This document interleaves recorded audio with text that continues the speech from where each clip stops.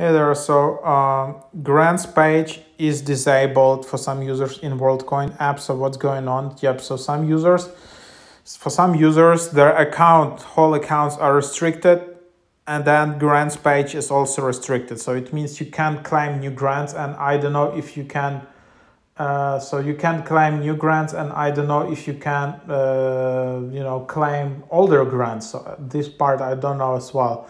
So something weird has happened there and that's just what you have. Um, so yep, that's just uh, what it is. This completely random. Some people posting this on, on you know uh, on uh, on Reddit, and the support team is not able to disclose why that happened. For some people, once they change their phone number, that happened, or once they change their phone and try to log in on another device that can also happen.